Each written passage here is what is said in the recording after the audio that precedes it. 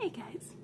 So, some information was brought to my attention yesterday morning because it's technically tomorrow because it's 4 in the morning. So, let's get into this. So, I want to say this first. You are a horrible human being if you ever try to guilt trip someone into being with you. Whether that is making them feel sorry for you or threatening to hurt yourself if they don't go out with you. Another thing, do not use someone else's death to make others pity you so that they'll talk to you. It is a horrible thing to lose someone. I understand that very well. I've lost many people in my life from death. But I would never use them to gain friendships with other people because then you're basing your friendship off of pity. Off of pity. So, that is how I'm starting off this video. So, it was brought to mine and my friend group's attention that my ex went back to the girl that he had cheated on. Like, they're not together, but he had went and messaged her her and I are the ones that found out that we were both dating the same guy. So, me and her are friends. He went and she was trying to be there for him about his dad. And then he tried to do what he did to me.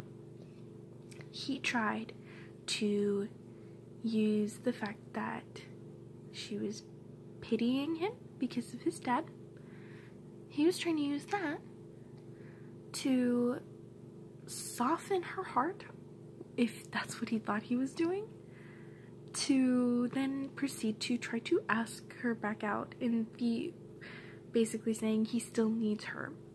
Okay. When he did that to me, he sent me a paragraph saying that I was the one he trusted, I was the one still in his heart, all this, all that, I was the one he still loved, all this he sent her a very, very similar paragraph. I don't know if it was the same exact words. I don't know. But it was basically the exact same paragraph that he sent her. Then she said that to him, you know, you're you've said this to me, you know. She brought me in. She's like, you know, you said this to Courtney before.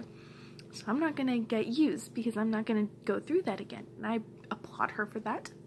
I totally applaud her for that. Don't put yourself back into a situation where you know that you're not gonna come out okay from. I mean, you know, go for things, you know, try new things, but don't, like, if you know you're not gonna come out okay from it, don't go back into it, kind of thing. Okay, continuing. He proceeds to say that, you know, he's upset about the fact that she's still talking to me and all that and like the fact that you know everybody's still talking to me and it's like i didn't do shit to this guy. I didn't do shit to him. There were many times where i got late. I asked teachers to write me a, a pass to class because i knew i was going to be late because i was there comforting him from shit going on at home. So like didn't do shit to this guy except be there for him, be a supportive girlfriend. so, and then even after everything, I was on a phone call recently and he was on the phone call. I was civil with him. I told him hello. I could have been so petty on that phone call, but I wasn't. I wasn't. I wasn't. I should have been. He would have deserved it but I wasn't. Okay, continuing. So he's saying, you know, he's mad about the whole thing. He's saying, you know, like, oh yeah, you believe her, all that, blah, blah, blah, blah. She proceeds to send him the screenshots that I had taken when he had messaged me. She sent them to him to throw back his words at his face, saying that I was lying. Like, okay. And then he proceeds to say the whole, you know, oh yeah, you believe her and everything. And then she, he decides to start making her feel bad about herself. He starts saying that, you know, she's hurting Lily and Tim. And Lily's her best friend. So Tim is like a brother to her. But he's telling her that she's hurting them. Mind you, he does not talk to Lily. Lily will not talk to him. As far as I know, he doesn't really even talk to Tim. I know that they talk on the phone sometimes, but it's not as often as he talks with the rest of us. As it's not as often as Tim talks to the rest of us. So, you know,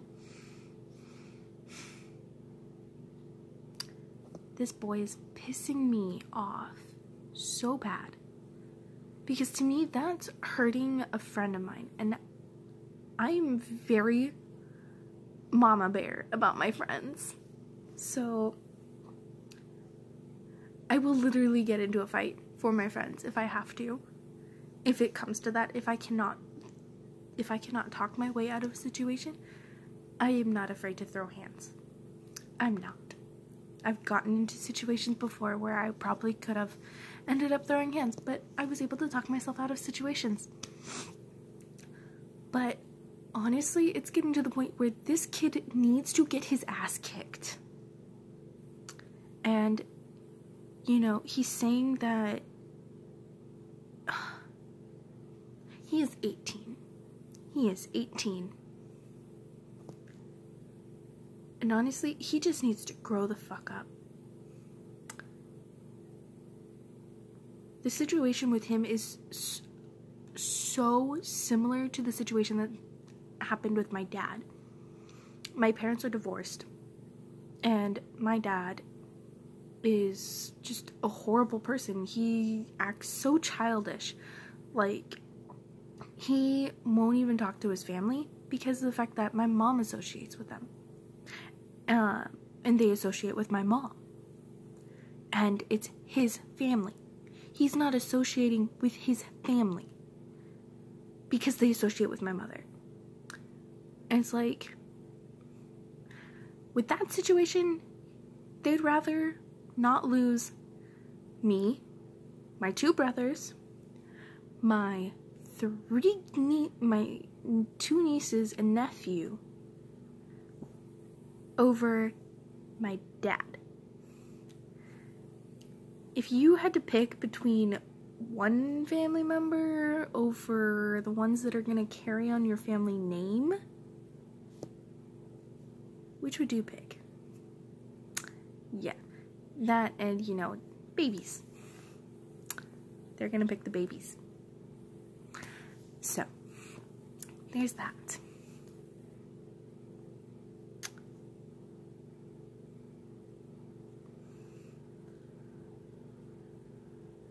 My biggest thing is I just want to know why I'm the main person that he's blaming about things. He told her that I wanted him to die. Mind you, I've never, ever, ever, ever, ever, ever in my life told someone to die or kill themselves. Anything like that.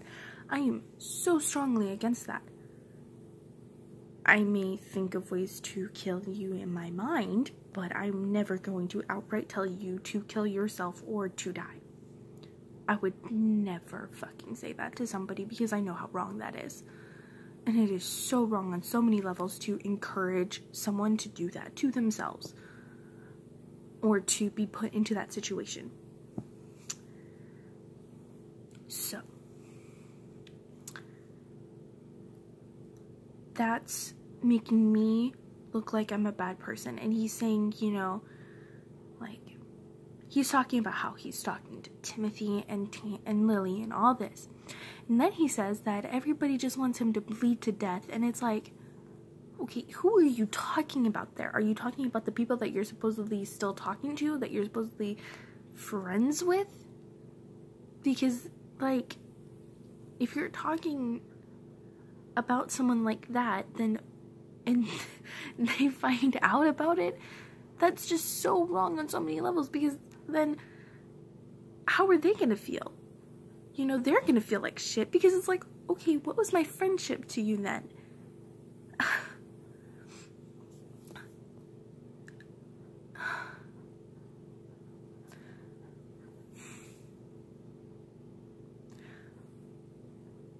one of the few reasons why the people that were his friends decided to stick by my side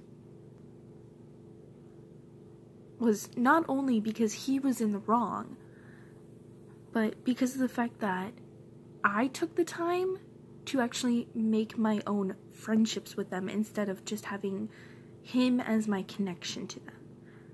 I hung out with them when he wasn't there. Even if he wasn't at school, you know, like I'd still go up and hang out with them because they because I became friends with them. I created uh, friendships with them without his help, without needing any of his help. But just the fact that he's blaming me He's making me out to be the main reason for all of his pain in this whole thing. Which, honestly, that's going and messing up my friendships. That's on, that's, like, I'm not saying that people are gonna believe him. I'm just saying that, you know, he's deliberately going out and trying to ruin my image just so then people feel sorry for him. And another thing, like, okay, I understand, you know, things may change after someone dies, but the entire time that I had been with him, most of the time he was complaining about his dad and saying how much he didn't like his dad, how much he hated his dad. But it's like every time something bad happened to his dad, that was when he was worried about him. And that was when he actually showed he cared about him it shouldn't have to take drastic measures for you to realize how much you care about someone. And that's another reason why I say he's he's still a child. He's not mature.